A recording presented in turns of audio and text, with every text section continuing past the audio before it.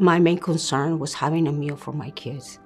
There were times that I didn't know where the next meal was going to come from, and I just wanted to make sure that my boy has something to eat.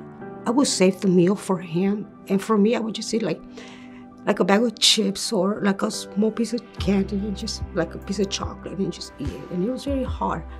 Thanks to God, you know, we encountered West Angeles Center and they were able to provide us with many reliefs, the rental assistance and the food and the turkey and things like that. And they also help us pay our bills.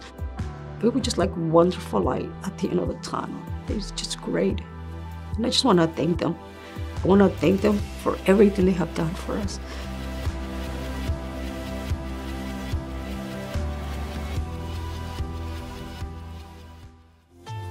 The West Angeles Community Development Corporation invites you to the 27th Annual Unity Awards Virtual Gala, Thursday, February 25th, kicking off at 6 p.m.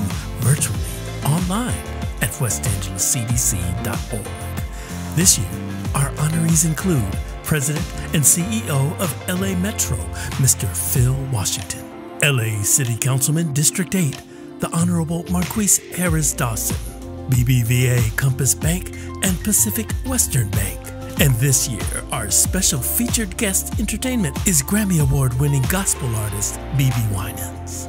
The Master of Ceremonies are Pat Prescott of 94.7 The Wave and Chris Schauble of KTLA 5. Mark your calendars and don't miss the CDC Unity Awards Virtual Gala, Thursday, February 25th, online. Register and RSVP today.